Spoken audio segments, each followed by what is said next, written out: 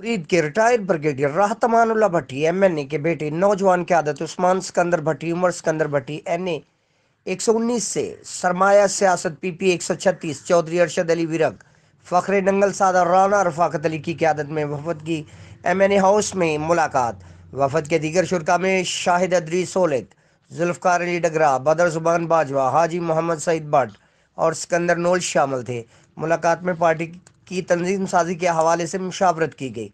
उस्मान सिकंदर भट्टी ने कहा कि जल्द तहसील मुरीद के में तंजीम साजी का आगाज़ कर देंगे और तरीके इंसाफ के बुनियादी वर्करों को सबसे ज़्यादा इज़्ज़त दी जाएगी।